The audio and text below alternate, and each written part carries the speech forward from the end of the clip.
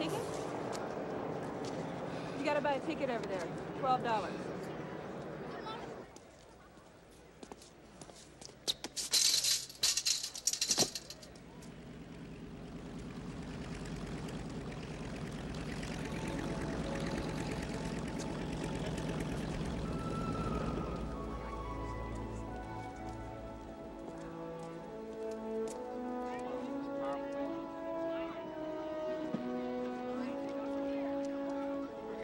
Look inside? Sure, go right ahead.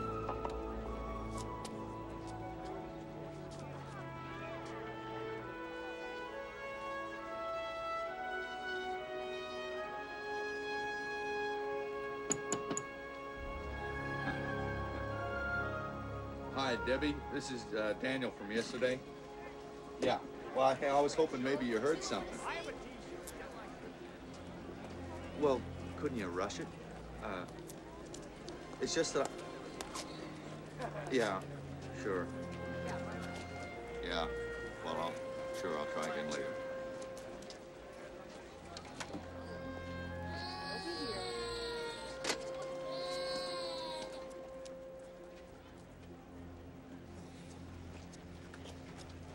Hey.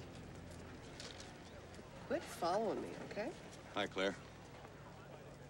Can you find anybody to rescue?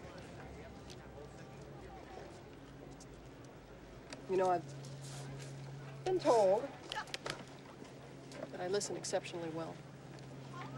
If you wanted to tell me anything, You ever feel lost? I invented it. It's mine. My buddy was supposed to be here when I woke up. He used to live around here. No, I can't find him. I, I know that sounds desperate, but he really is all I have left.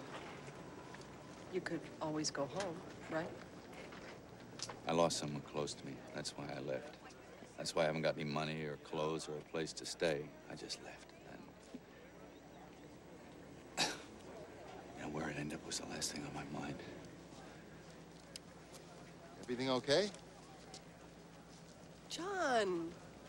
Uh, yeah. I, I'm sorry, Daniel. This is John, and John, this is Daniel. Hi, John. Pleased to meet you. Daniel is going to be staying with us for a couple days until he finds his friend. Well, it's good to know you, Daniel. Good to know you.